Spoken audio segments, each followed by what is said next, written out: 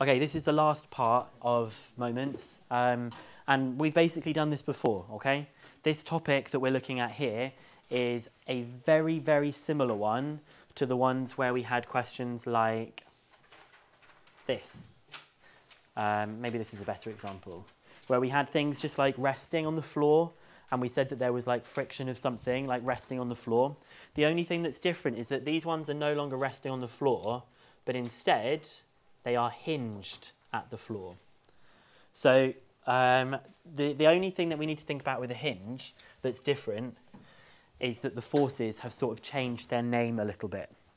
Now, if this was one that was um, just resting on the floor, we would have had the forces I'm going to have to obviously name the forces properly in a second, but we would have said there would have been some weight. What other forces would there be if it was resting on the floor?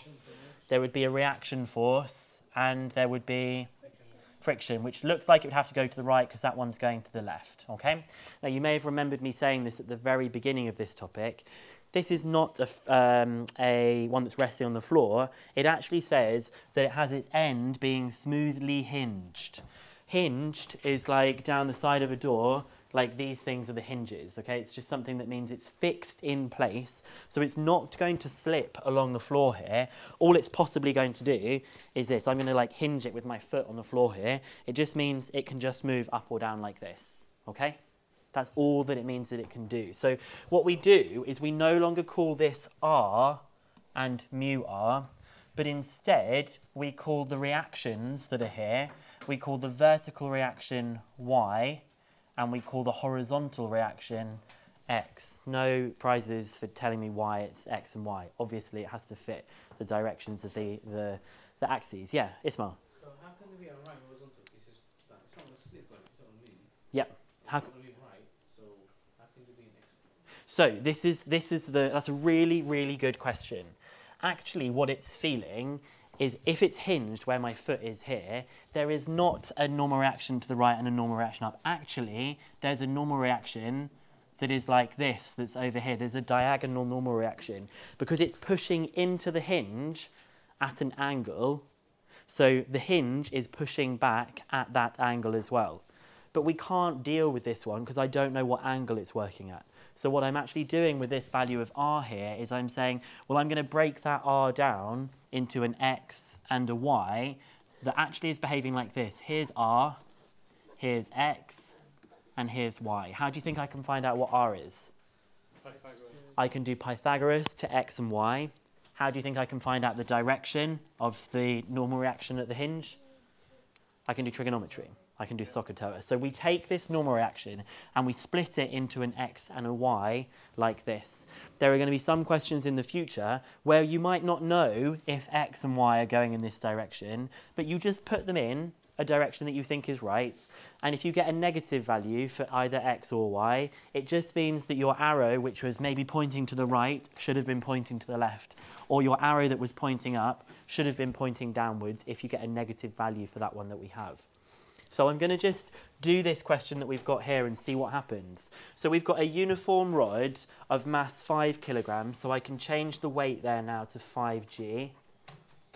And length 4 meters, so I can say that this is 2 meters and this is 2 meters has its end smoothly hinged at a fixed point, hence me adding in x and y. I'm going to leave r there. Mm, no, I'm going to get rid of r because I think it's going to get in our way for a moment. But we know that we can use r if we have to. It will, it will come back later on. And it says the rod is held in equilibrium at an angle of 25 degrees above the horizontal by a force of magnitude F newtons applied to its end B. The force acts in the vertical plane containing the rod and in a direction which makes an angle of 40 degrees with the rod as shown in figure 1. Find the value of f. So to find the value of f, I'm going to take moments. Yeah, Hamza, what was your question? Up and down. Um, I think before I even want to find out what, I think to find f, I think I can just take moments about here straight away. Oh, Okay. can you put it? Yeah, so I'm going to just take moments about the bottom of the rod, which is A to begin with. And this is going to be a little bit trickier. Um, so I'm first of all going to deal with this 5G one. Now there's the direction of the line of force and there's the point. So I'm looking for this distance that's running along the bottom here. So if I draw that triangle out, Two cos 25. Good. That's this is the distance I want, so it's going to be a 2 cos 25. So when I take moments about A, it's my force multiplied by 2 cos 25. And that is going to be equal to the force multiplied by its perpendicular distance. So I'm going to make the force uh, a bit of a longer line, like this. And I want to know the shortest distance from here to the force, which is going to be this distance. And that's meant to be a right angle. I haven't drawn it particularly well, but it's meant to be a right angle. So if I draw that triangle out separately, the hypotenuse is 4 and the angle is 40. Which of these two sides do I want, the opposite or the adjacent? I want the opposite. I want the distance between the point and the line of action of the force. So I'm looking for that distance, and that distance is, F sine 40. Or 4 sine 40. no, it's f times 4. si- Yeah, sorry, sorry, you're right. Yeah, the distance, you're right. The distance is 4 sine 40, and the force is f. So it's going to be f multiplied by 4 sine 40. 40 because that's the angle for that one, it's slightly different. So when I work this out, f is equal to this divided by this. So we've got 5g times 2 cos 25 divided by 4 sine 40. And we get that f is 34.544133. I'm just going to leave that as a number in case I need it later on. And then I'm going to round it to 34.5 newtons to three significant figures.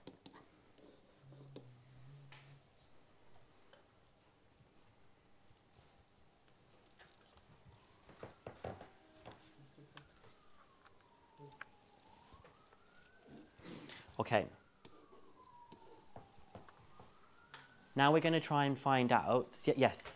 So I was going to say, what if you resolve um, F to make it, uh, what's the word? Same thing. Uh, vertical. Yep. Would it work if you did that? Yeah, it would work as well. Have you done it that way? Uh, yeah. Did you get the same answer? I mean, I didn't finish because I thought they were. Okay, no, no, no. It should it should work, but we're going to have to do some resolving with f in a second because we've already taken moments. We've only got two other things left, so maybe when I resolve it, you can see if it's working with the way that you did it. Okay, so we're now. This is quite strange. It's asking us to find the magnitude and the direction of the vertical component of the force acting on the rod at A.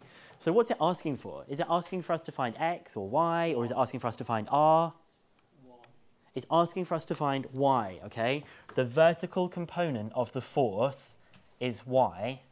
Well, why the hell is it asking me what direction it's going in? Because once you work at x2. Nope, it's not, because that would ask me about the, the reaction at the hinge. Whoever's talking, you know, don't need to be talking at this time, because this is very, very challenging. If there's a question about it, we can talk about it in a second. Um, what do you think it's meaning about the direction of y? What did I say earlier on? It could go up or down. Okay, if you get a negative answer from my diagram, it must be going downwards. If we get a positive answer, then it's correct, it must be going upwards. That's because at the moment, we don't know if the f bit going upwards is bigger than the 5g. We don't know what, the, what these things are in relationship to each other. So I'm going to now do this bit and I'm going to try and split the f force up. Now, in order to split this F force, it looks like it is a horizontal force and a vertical force. So you can no longer use the 40 degrees that we have there. Now, if this is 25, what's this? This is also 25. So what's this? Good, so this is 15. So this one running along the left here is going to be uh, F cos 15 and this one running along the side is the important one that I need is f sine 15. Does that make sense why I have to use 15? We did something similar in the last lesson, didn't we? Where we had it was, um, we had like a funny angle and we had to split it to get one that was horizontal and vertical. Yeah, yeah, it was that.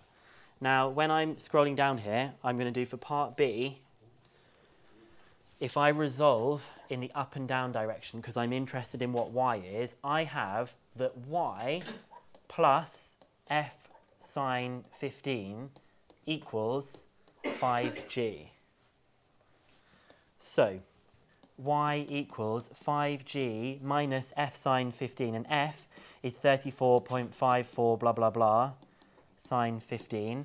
So I'm going to find out what that is. So it is 5g minus f sine 15. And I get that y is 40.1 newtons to three significant figures. Now, because this is positive, y is going vertically upwards. Because imagine I came up with an answer that was negative, it would have meant that y would have had to be going in the opposite direction as that one that we've got there, okay? So 40.1 newtons, because I got a positive answer, it means my diagram was drawn correctly. If I got a negative answer, my diagram was drawn incorrectly. It only wants us to find the magnitude and direction of the vertical component of the force acting on the rod at A. Yes? Is that statement necessary to get? Yes, because it asks for the magnitude and the direction. So you have to say whether it's going up or down for this particular one. Now I'm going to do something that's not included in this question. I'm going to make up part C of the question and it might say find the magnitude of the normal reaction at the hinge.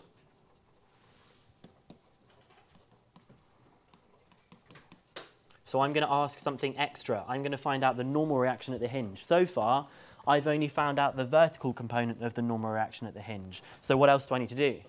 I need to find out the horizontal component. Now, when you look at the diagram, it looks like x is equal to what? Good. These ones here are the ones that are horizontal. So x is equal to f cos 15. So let's just do part C together. We might as well add in this bonus question. So when we resolve left and right, x is equal to f cos 15. And f cos 15 is 34.54413 times cos 15, which is 33.367 blah, blah, blah. Now we've just worked out that it has an x component of 33.367. It has a y component of, I wish I'd written that out in a bit more detail now, 40.1. So the overall normal reaction is the combination of that x and y. It's the combination of the vertical and the horizontal one, which means I'll Pythagorize them. So I'll do that plus the 40.1 squared. I'll Pythagoras to this. So I'll do Pythag. And I get that R is equal to 52.1 something, which I'm just going to, on the safe side, I'm going to say is 52 newtons. I'll do it to two significant figures, just in case some of my rounding errors have crept in. So I'm just going to keep it as 52 newtons instead, okay? Could you also find out what the dire direction was if you had to? Yep, you could do SOHCAHTOA, you could do 40.1 divided by 33.367, and you could do the inverse tan of that to find the angle down here, and then you could say that it's an angle above the horizontal, okay? So I'm going to do one more of these, and then that's us done on this topic. We're just going to spend the time doing practice. Can I go on to the next bit? Yeah. Okay, so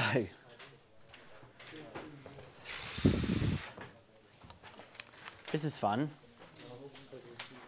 Sorry if we go maybe a minute over, but this is a big, a big question, and then you've just got a few more to try. Okay? No, now it's 50, it's quarter two. We're not going to sit here for 15 minutes. Okay, here we go. A beam AB of mass 20 kilograms and length 3 meters is smoothly hinged to a vertical wall. So now we're hinging to a wall rather than a floor uh, with one end at A. The beam is held in equilibrium in a horizontal position by a rope of length 1 meter. You guys, you guys are going to love this one. One end of the rope is fixed to a point C, uh, which is vertically above A. The other end of the rope is fixed to the point D on the beam, so that the angle ACD is 30, as shown in figure 2. The beam is modelled as uniform, and the rope is modelled as a light and extensible string. Using the model, find the tension in the rope. Okay, so there's a few things that we haven't added. It's the fact that the mass is 20. Everything else, I believe, is sort of on the diagram. So if the mass is 20, I'm going to be able to add on here that this is 20g. There are some other forces that I need to take into account here. What are the other forces? Tension. T, there's going to be tension. Which direction is it going? It's going away from it because we're considering the beam, okay? So there's the tension, and there's some other forces too. Bearing in mind it's a hinge. No friction. Pardon? xy, good. So there's going to be an x component here, and there's going to be a y component here. Now, I don't actually know if it's going to be a y component up or a y component down. It's very hard to imagine. Is this beam, is it poking into the wall and pushing upwards like this, or is it poking into the wall and pushing downwards? It's, it's kind of difficult to know. So we'll have to just do the calculations and see if we get a positive or if we get a negative. Yes? How do you know if the like? How do you know if x and y wouldn't be just like rotated? So it'd be y that's going up and x. So if you had it like this, do you mean like this and like this? Yeah? I'm just, I'm just asking like, why is it y instead of x? Just because that's the y-axis and that's the x-axis. What else do we put up? One and two. You could call them reaction one and reaction two, but I call it the x reaction because it's going in the x direction, x being the x-axis. Oh, yeah, yeah. I'm So, sorry. Y. That's all right. It's fair enough. Um, the reason that we don't do them as like angled like this is because we then can't put them back together using Pythagoras. Okay. So um, this one is a bit tricky to find some of the distances here. I'm looking at this being like, uh-oh, what are we going to do? So what do you think is going to be the best thing out of moments resolving and resolving to find the tension?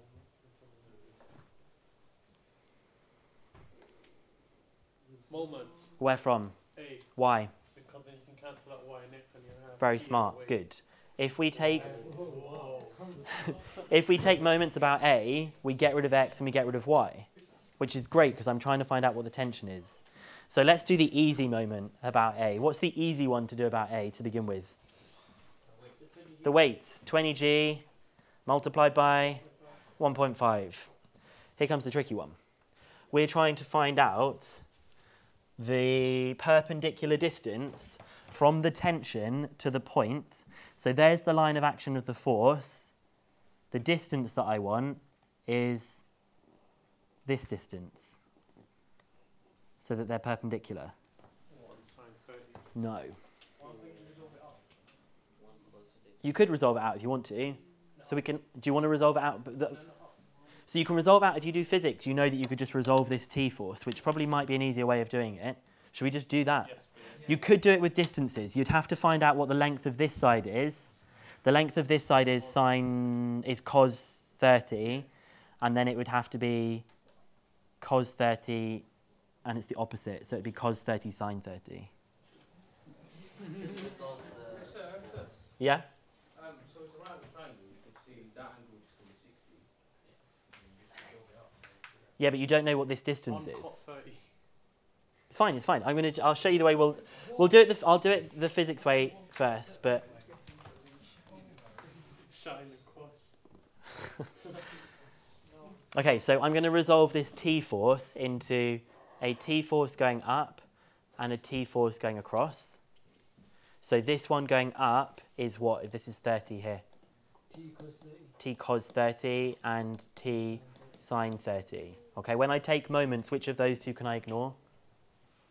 The T sine 30 can ignore because it's going in the same direction as that point there. Okay, it's actually coming out the bottom of it like this, so that T sine 30 is not going to do anything for us. Now, I need to find out, my force is T cos 30, but what is this distance here? Bearing in mind, that is 1 and that is 30. Sine 30. Sine 30 is 1 sine 30. So it's just sine 30. So that's the force and that's, time, that's the distance. Do you want to see the way that I would have done it? Okay, the way I would have done it is if we had that this is one meter and I was trying to find out this distance here, and I know that that is 30, from the big triangle, I know that this distance here is cos 30. So then I have a new mini triangle that looks like this, where that's a right angle and the hypotenuse is cos 30. And I'm looking for this distance here. This distance is cos 30 cos 60. Uh, wait a second, cos 30, cos 60, or if this is 30 up here, cos 30, sine 30. Yeah. So that's why I've got cos 30, sine 30, and I would be multiplying it by my force, which is t. That's two steps though. This is also two steps, what you did. What? You had to resolve it, and you also had to find that. So to find out what the tension is, I'm just going to do that divided by that, and we get that the tension is whatever that is. So that's 30g divided by six seven eight point nine six three nine, which is six hundred and seventy nine newtons to three significant figures, or six hundred and eighty, and that's the right answer. The direction of the force exerted by the wall on the beam at A. Okay, so we now need to find out the direction of the force exerted by the wall on the beam at A. We need to talk about these reaction forces. So I need to find out what X is and I need to find out what Y is and I need to combine them together. So if I resolve right and left, it looks like X is equal to T sine 30. X and T sine 30. So it's just that multiplied by sine 30, which is just a half. And you get that X is 339.48 newtons. If you resolve in the up and down direction, you get that Y equals, sorry, you don't get Y, Y equals, you get Y plus T cos 30 equals 0. What? Oh, yeah, yeah, yeah, sorry, sorry, not equals 0, equals 20g, sorry. So y equals 20g minus 678.96 blah blah blah cos 30.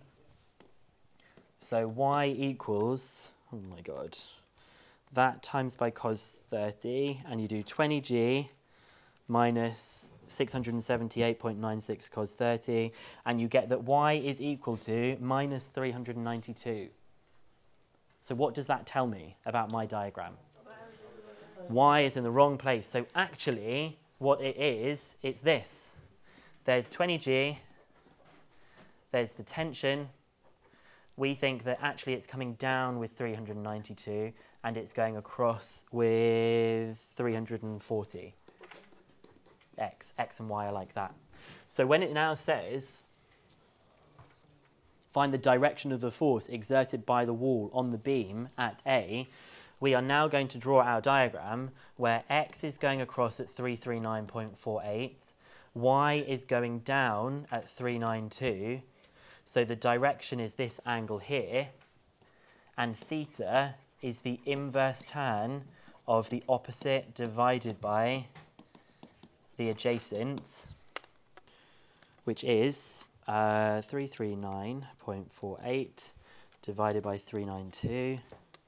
So the angle is 41 degrees below the horizontal. And I've said that to two significant figures. We've got to push on, we're nearly there, okay? I can't do this in a two-part example, but it's, it's big. If the rope were not modelled as being light, state how this would affect the tension in the rope, explaining your answer carefully. Who thinks they can tell me about that modelling assumption? I've mentioned it before. It okay? The tension is not evenly distributed. Good. The tension is not going to be equal throughout.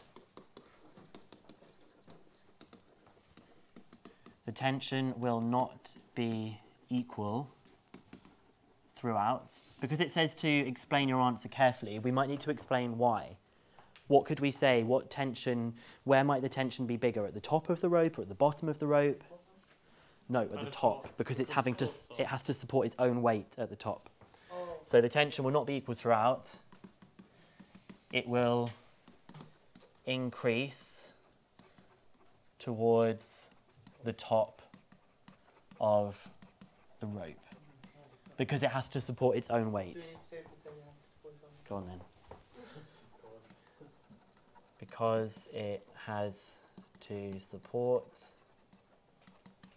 its own weight too. Okay? The rope is now removed and replaced by a longer rope, which is still attached to the wall at C, but is now attached to the beam at G, where G is the midpoint of AB. The beam AB remains in equilibrium in a horizontal position. Show that the force exerted by the wall on the beam at A now acts horizontally. The wall, the, the what? So angle is zero. So can you read that last? Yeah, so it says show that the force exerted by the wall on the beam, so this force that we're talking about over here, only acts horizontally. In other words, look at these x and y here. What do we think will happen if it's only acting horizontally? Y is zero. But it's a two mark question, and I'm trying to think what's the best way to do this for two marks. Show that the force exerted by the wall now acts horizontally. So I'm going to have to draw a diagram again. We're now on to part D of the question. We've got a diagram that looks like this. We've got the rope coming to the midpoint. Yeah. We've got the 20G happening here. We've got the T happening here. We've got Y here, and we've got X here. And we're trying to show that this is going to all work out fine. Um, mm, mm, mm. We don't know the angle. No, but there's only two marks for this, so there's got to be a quicker way of doing this. Let's think.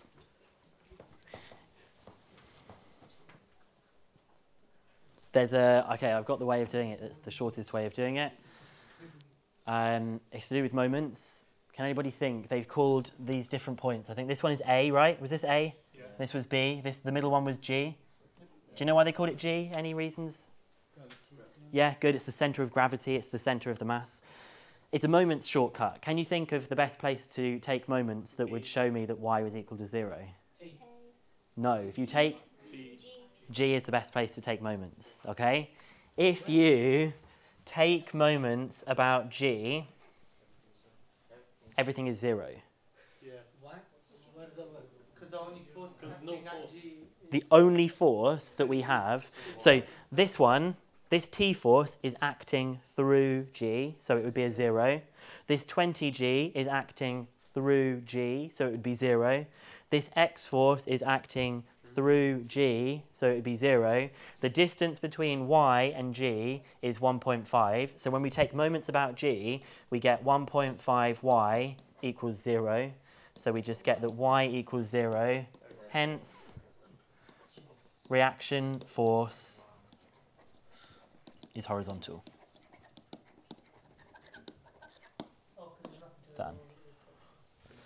Finished on that topic.